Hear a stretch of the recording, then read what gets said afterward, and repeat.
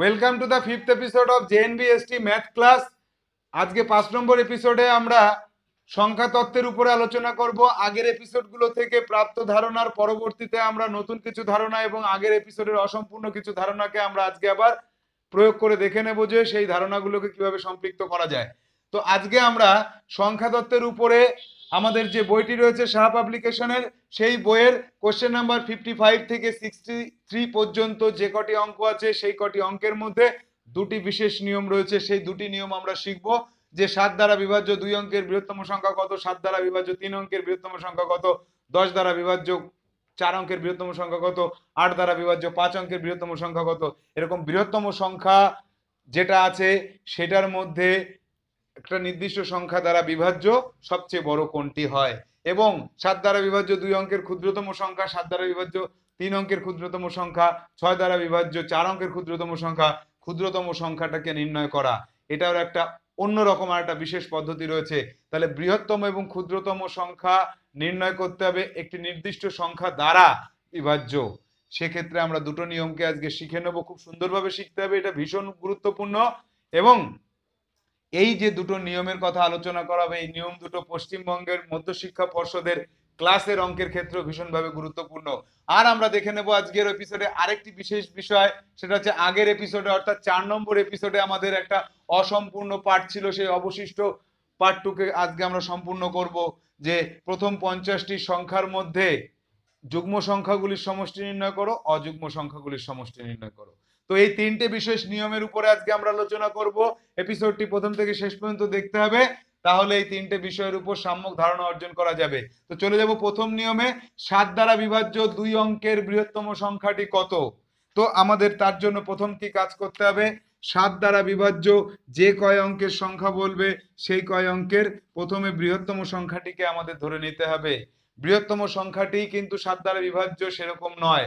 সাত দ্বারা বিভাজ্য বৃহত্তম সংখ্যাটি নির্ণয় করার জন্য সেই অঙ্কের বৃহত্তম সংখ্যাকে আগে আমাদের ধরে নিতে হবে। তাহলে নিরানব্বই, তাকে সাত দিয়ে ভাগ করতে হবে। ভাগ করতে করতে আমাদের দেখতে হবে কোন পর্যন্ত যাওয়া যায়। সাত অক্ষে সাত থাকল দুই, উনতিরিশ, চার সাতা, আঠাশ, থাকল অবশিষ্ট এক।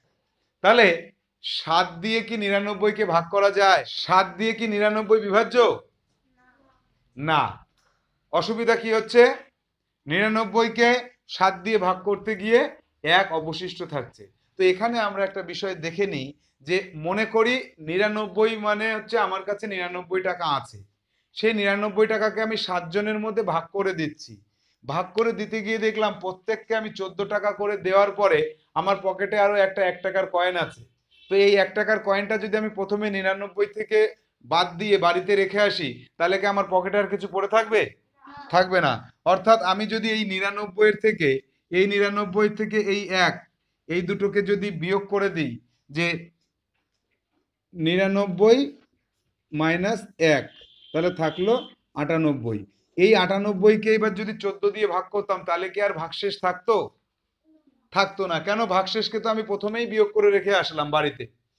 তাহলে আমাদের নিয়মটি হচ্ছে, যে কয় অঙ্কের বৃহত্তম সংখ্যা বলবে, সেই কয় অঙ্কের বৃহত্তম সংখ্যাটি আসলে যেটা বৃহত্তম সংখ্যা সেটাকে নেব। তারপরে যে সংখ্যাটি দ্বারা বিভাজ্য বলছে, সেই সংখ্যা দ্বারা সেই বৃহত্তম সংখ্যাটিকে ভাগ করতে শুরু করব। ভাগ করতে করতে আমার যদি কোনো অবশিষ্ট থাকে, সেই অবশিষ্টটাকে আমি ওই বৃহত্তম সংখ্যা থেকে বিয়োগ করে দেব। বিয়োগ করে দিলে যে সংখ্যাটি পাবো, সেই সংখ্যাটিকে যদি এবার এই সংখ্যাটি দিয়ে ভাগ করি তাহলে তো আর অবশিষ্ট থাকবে না। তাহলে এটাই হবে আমার কাঙ্ক্ষিত সেই সংখ্যাটি, যেটি এইটা দ্বারা বিভাজ্য দুই অঙ্কের সবচেয়ে বড় সংখ্যা। এই যে আটানব্বই পেলাম, এটা কি দুই অঙ্কের বৃহত্তম সংখ্যা? না। এটা দুই অঙ্কের বৃহত্তম সংখ্যা সাত দ্বারা বিভাজ্য। সাত দিয়ে ভাগ করা যায় এমন দুই অঙ্কের সংখ্যাগুলির মধ্যে এটা সবচেয়ে বড়। কিন্তু এটাই দুই অঙ্কের বৃহত্তম সংখ্যা নয়। এটা দুই অঙ্কের বৃহত্তম সংখ্যার থেকে এই যে অবশিষ্ট পার্টটা ছিল, ভাগশেষ ছিল, সেটাকে বিয়োগ করে আমি পেয়েছি। তো এইবার যদি বলা হয় তিন অঙ্কের বৃহত্তম সংখ্যা নির্ণয় করো, যেটি সাত দ্বারা বিভাজ্য, তিন অঙ্কের বৃহত্তম সংখ্যাকে বসিয়ে সাত দিয়ে ভাগ করব, যেটা আমার ভাগশেষ থাকবে, তিন অঙ্কের বৃহত্তম সংখ্যার থেকে সেটাকে বিয়োগ করে দেব। এবার চলে আসব দ্বিতীয় নিয়মে, যে সাত দ্বারা বিভাজ্য, দুই অঙ্কের ক্ষুদ্রতম সংখ্যাটি কত? তো এক্ষেত্রে আমাদের প্রথম কাজ থাকবে, দুই অঙ্কের ক্ষুদ্রতম সংখ্যাটি কত সেটাকে আগে বসানো। তিন অঙ্কের যদি বলে, তিন অঙ্কের করব। চার অঙ্কের বলে, চার অঙ্কের করব। পাঁচ অঙ্কের বললে পাঁচ অঙ্কের ক্ষুদ্রতম সংখ্যাটি বসাবো। তো আমরা যেহেতু বৃহত্তম সংখ্যাটা দুই অঙ্কের করেছি, তো এক্ষেত্রে আমরা তিন অঙ্কের সংখ্যাটা দিয়েই করি। যে সাত দ্বারা বিভাজ্য, তিন অঙ্কের ক্ষুদ্রতম সংখ্যাটি নির্ণয় করো। তিন অঙ্কের ক্ষুদ্রতম সংখ্যা যেটা সাত দ্বারা বিভাজ্য। তো আমাদের প্রথম কাজ হচ্ছে তিন অঙ্কের ক্ষুদ্রতম সংখ্যাটিকে আগে বসানো। এবং তাকে সাত দিয়ে ভাগ করা। যদি ভাগ করলে মিলে যায়, তাহলে ওটাই হবে সাত তিন অঙ্কের ক্ষুদ্রতম সংখ্যা যেটা সাত দ্বারা বিভাজ্য যদি না মেলে, তাহলে আমরা কি করব? এটাই হচ্ছে আমাদের আজকে আলোচ্য বিষয় যে কীভাবে আমরা বের করব। যে সাত দিয়ে ভাগ করতে গিয়ে সাত অক্ষে সাত, থাকল তিন, তিরিশ, চার সাতা আঠাশ। অবশিষ্ট কত থাকল? দুই। এবারে এই দুইকে যদি আমরা আগের নিয়মে একশো থেকে বিয়োগ করি তাহলে কত হবে? আটানব্বই হবে। তো সেটা কি তিন অঙ্কের সংখ্যা থাকল? তাহলে আমাদের এটাও মনে রাখতে হবে যে যে কোনো অঙ্কের ক্ষুদ্রতম সংখ্যার থেকে একও বিয়োগ করা যাবে না। কারণ ওটাই ক্ষুদ্রতম, ওর থেকে কিছু বিয়োগ করলে সেটা আর সেই অঙ্কের থাকবে না, তার আগের অঙ্কে চলে আসবে। তাহলে আমরা এই যে দুই অবশিষ্ট থাকল, এই দুইকে এর থেকে বিয়োগ করলে যে বিয়োগ ফলটি পাওয়া যায়, সেটা সাত দ্বারা বিভাজ্য হয়, এটা আমরা জানি। কিন্তু বিয়োগ করলে সেটা তিন অঙ্কের থাকছে না, সেটা দুই অঙ্কের চলে আসছে। তাহলে এবার আমরা কি করব? এবার আমাদের যেটা করতে হবে সেটা হচ্ছে এই যে বিয়োগফলটা পেলাম আর কাকে দিয়ে ভাগ করছিলাম? সাত দিয়ে। তখন এই সাতের থেকে এই দুইকে বিয়োগ করে পেলাম আমরা কত? পাঁচ। এই পাঁচকে এবার আমরা একশোর সঙ্গে যোগ করে দেব। এই তিন অঙ্কের ক্ষুদ্রতম সংখ্যার সঙ্গে যোগ করে দেব। কত হয়? যে একশো যোগ পাঁচ। একশো পাঁচ। এটাই হচ্ছে তিন অঙ্কের সবচেয়ে ছোট সংখ্যা, যেটা সাত দিয়ে ভাগ করা যায়। তো এই নিয়মটা আমরা আরেকবার দেখে নিই এবং তার কারণটা আমি বলছি একটু পরে, যে যদি বলে তিন অঙ্কের কোন ক্ষুদ্রতম সংখ্যা সাত দ্বারা বিভাজ্য, তাহলে প্রথম কাজ তিন অঙ্কের ক্ষুদ্রতম সংখ্যাটিকে বসানো। দ্বিতীয় কাজ তাকে সাত দিয়ে ভাগ করা। ভাগ করতে করতে যখন ভাগশেষে চলে যাব, তখন আমরা তৃতীয় নম্বর কাজটি করব সাত থেকে এই অবশিষ্ট যেটা রয়েছে সেটাকে বিয়োগ করা। বিয়োগফল যেটা পাবো, তখন আমরা চার নম্বর কাজে চলে যাব। এই যে ক্ষুদ্রতম সংখ্যা, তার সঙ্গে এইটাকে যোগ করে দেব। তাহলে চারটে স্টেপ পার করে আমরা আমাদের কাঙ্ক্ষিত উত্তরে পৌঁছে যাব। এবার কথা হচ্ছে যে, এই সাতের থেকে এই দুইকে বিয়োগ করে যেটা পেলাম, সেটাকে এর সঙ্গে যোগ করলাম কেন?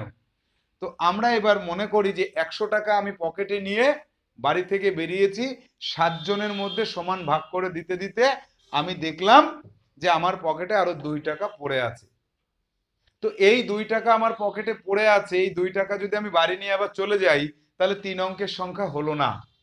তাহলে আমার তিন অঙ্কের সংখ্যা করতে গেলে ওর সঙ্গে আরও কিছু এক টাকা এক টাকা এক টাকা করে যোগ করতে হবে।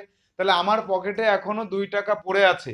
এবার আর কত টাকা হলে আমি আর একজনকে সাত টাকা দিতে পারব? আর কত টাকা হলে? পাঁচ টাকা। তাহলে আমি চোদ্দ জনকে সাত টাকা করে দিয়েছি। আমি চোদ্দ জন মানুষের মধ্যে সাত টাকা করে দিয়েছি।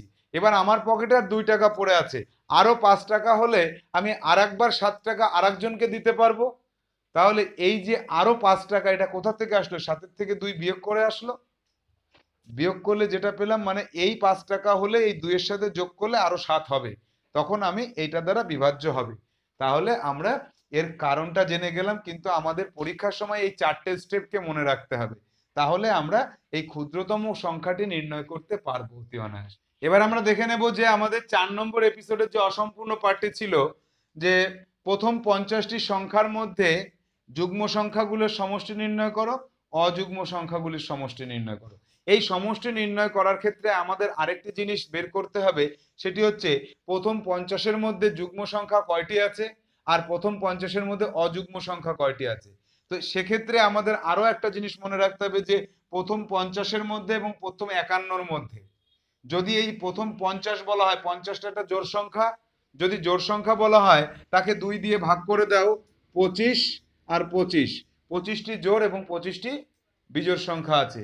যদি বলে একান্নটি সংখ্যা, তাহলে তার মধ্যে জোর কটি আর বিজোর কটি? একান্নর আগের সংখ্যাটি কত? পঞ্চাশ। তাহলে পঁচিশটি জোর এবং পঁচিশটি বিজোড় এবার পঞ্চাশের পরে আমি একান্নয় গেলাম। একান্ন কি জোর না বিজোর? তাহলে বিজোড় সংখ্যা আরেকটি বেড়ে গিয়ে ছাব্বিশটি হয়ে গেল। তো আমার কয়টি জোর এবং কয়টি বিজোর এই রকম পদ্ধতিতে আমরা বের করে নিতে পারি? এইবার আমাকে দেখতে হবে যে জোর প্রথম পঞ্চাশের মধ্যে জোর সংখ্যা কটি পেয়েছি?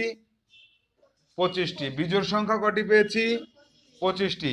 এন কথার অর্থ হচ্ছে কয়টি জোর সংখ্যা আছে? এন কথার অর্থ আমরা কি বলব? কয়টি জোর সংখ্যা আছে? যদি বলে জোর সংখ্যা, তাহলে ওই পঁচিশ গুণ পঁচিশ যোগ এক ইকুয়াল টু ছাব্বিশ। এই গুণটা করলে যা পাবো, এইটা হবে সেই যুগ্ম সংখ্যাগুলির সমষ্টি। আর যদি বলে অযুগ্ম সংখ্যাগুলোর সমষ্টি কত? অযুগ্ম সংখ্যা কটি পেয়েছি? পঁচিশটি। তাহলে এই পঁচিশ গুণ পঁচিশ গুণফল যেটা হবে, এটাই হবে তার উত্তর।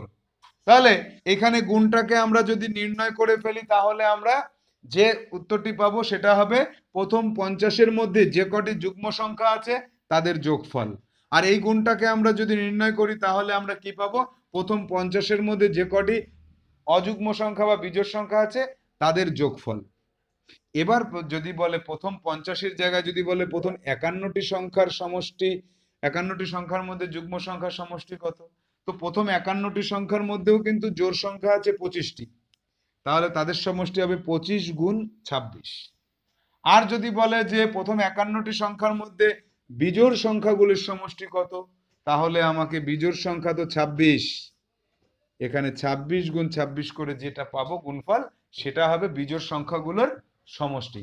তাহলে আমরা দেখে নিলাম যে তিনটে পদ্ধতি, সাত দ্বারা সাত দ্বারা দুই অঙ্কের বৃহত্তম বিভাজ্য সংখ্যা, সাত দ্বারা বিভাজ্য তিন অঙ্কের ক্ষুদ্রতম সংখ্যা এবং প্রথম পঞ্চাশটি বা প্রথম একান্নটি বা প্রথম একশোটি বা প্রথম পাঁচশোটি সংখ্যার মধ্যে যে কটি যুগ্ম সংখ্যা আছে তাদের সমষ্টি নির্ণয় করা এবং যে কটি অযুগ্ম সংখ্যা আছে তাদের সমষ্টি নির্ণয় করা। আজকে আমাদের পাঁচ নম্বর এপিসোড এখানে শেষ করব। ছয় নম্বর এপিসোডে সংখ্যা তত্ত্বের অন্যান্য সমস্যার উপরে আমরা আলোচনা করব, সেখানে দেখে নেব সমাধানের সহজ কৌশল। ততদিন পর্যন্ত এক থেকে পাঁচ পর্যন্ত এপিসোডে যে কটি অঙ্ক বা যে কটি নিয়ম আমরা শিখলাম, সে কটি নিয়মের উপরে প্র্যাকটিস চালিয়ে যাও